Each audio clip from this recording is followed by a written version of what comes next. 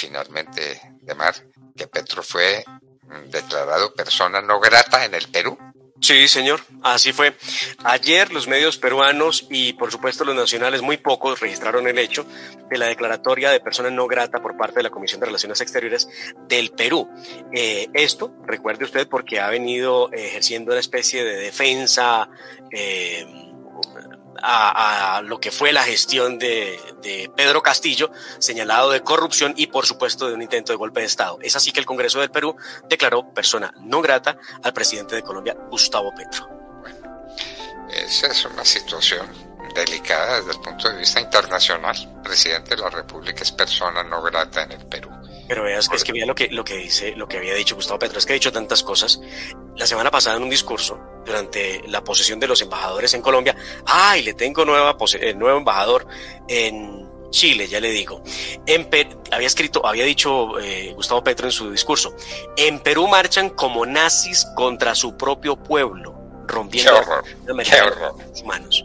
Qué horror. Está, tiene el nazismo metido entre pecho y espalda, pero nadie le explicó bien ¿Qué fue el partido nazi en Alemania? Nadie se lo explicó y por eso no lo aprendió. ¿Y quién es el embajador en Chile? Habrá embajador en Chile y ese será Temístocles Ortega, ex senador, ex eh, gobernador del departamento del Cauca, eh, un hombre que llega a reforzar el servicio exterior. ¿Cómo le parece? Que en Brasil ya estaba Guillermo Rivera y lo habíamos anunciado esta semana, pero ahora el que prepara maletas es Temístocles Ortega, que se va para Chile.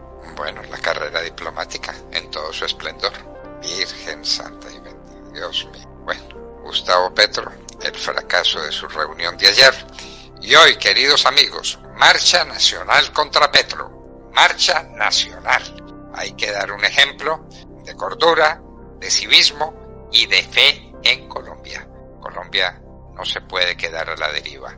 Alguien tiene que decir, aquí estamos, somos Colombia. La oportunidad es hoy, está clara. Vamos a ver qué sucede y vamos a ver si la prensa cumple con su deber, el deber que ayer no cumplió. Rápidamente le doy puntos de la marcha, doctor Fernando, a partir de las 10 de la mañana.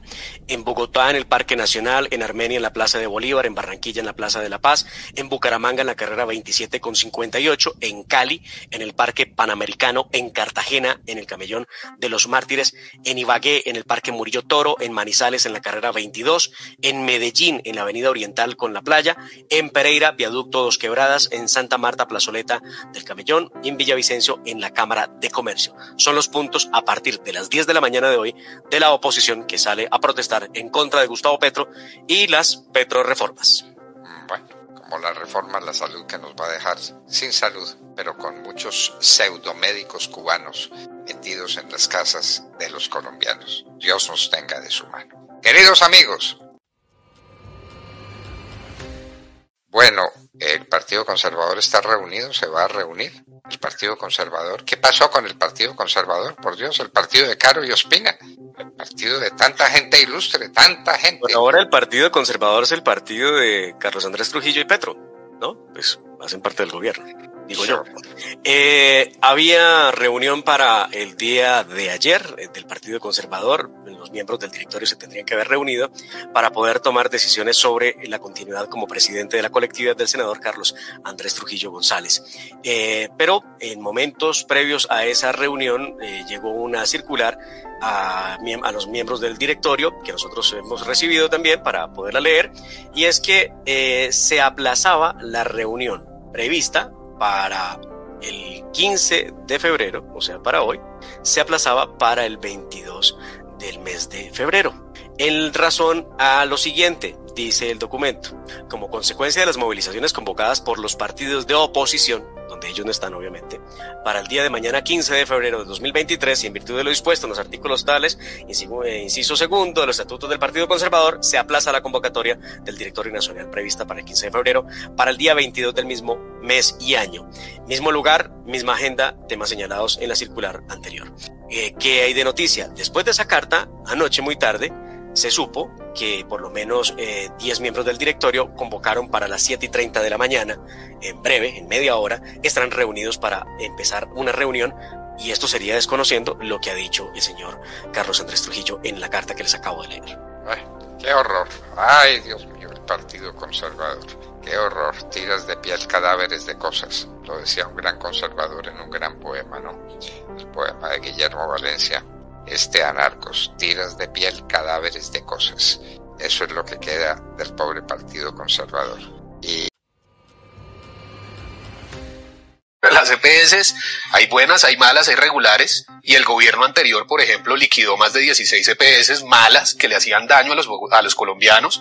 Y frente a eso cayó la ley, el peso de la ley y le exigió absolutamente todo. Pero uno no puede generalizar acá que todas las EPS per se son malas en un sistema que tiene un cubrimiento mayor al 98% y que lo prestan precisamente esas EPS que son aseguradoras. El avance que se dio con la ley 100, lo que pasa es que la ley 100 ha sido un caballito de batalla y, lo, tengo que decir de la izquierda de este país, porque ha responsabilizado a Álvaro Uribe de la ley 100. Álvaro Uribe lo que fue fue un ponente de la ley 100, pero no fue el creador, ni es la ley de Álvaro Uribe como la han querido acá poner y caricaturizar. Porque ese ha sido, digamos, el caballito de batalla de la izquierda de este país. Entre otras cosas, Álvaro Uribe siempre se ha convertido en el muñeco para defender las causas de ellos, cuando no tienen los argumentos propios. Del año, en el, del año 2019 al 2020, las tutelas se redujeron 46.98%. Del 2020 al 2021, 36.87%. Pasaron de, 100, de 207 mil tutelas en el 19 a 109 mil en el 2020 y a 80 mil en el 2021. 80 mil tutelas cuando hay una masa universal de afiliados de 48 millones 231 mil, o sea, son mínimas. Pero esas 80 mil tutelas versus 31 millones 933 mil personas atendidas es unos, digamos, son unos casos y unas excepciones que uno no puede generalizar y sobre esa generalización decir que el sistema per se es malo y requiere una reingeniería ideológica como lo está presentando hoy el gobierno de Gustavo Petro. Entonces usted dice, listo, la persona que toma su decisión, consume, tiene su autonomía, lo hace y no tiene ningún problema. Pero ¿qué sucede con la persona que entra en el círculo de adicción? existe la oferta en la totalidad del país por parte del sistema público. Hago un ejemplo de lo de Medellín, la, IP, la IPS Carisma. Es una IPS Carisma. Carisma, tiene la oferta, tiene la capacidad de Medellín, discutible. Vamos a hablar de otras zonas de Colombia. Tienen esa capacidad institucional del sistema de salud para brindar esa oferta, yo creo que no. Y a esto van y Carvalho y todos los asistentes se le agrega un elemento adicional y es que hay una realidad en el medio. El gobierno acaba de erradicar la reforma del texto de la reforma a la salud. Que va a mantener competencias a quién? A la CPS como se las está otorgando. Si ya hoy no va a empezar a despojar de un montón de competencias, para ser precisos, de una serie de competencias, va a existir esa respuesta alternativa por quién? La Secretaría de Salud. La Secretaría de Salud Municipal va a tener la capacidad de implementar estos programas de prevención como está quedando estipulado en el acto legislativo. Yo tengo que decirlo, lo dudo mucho.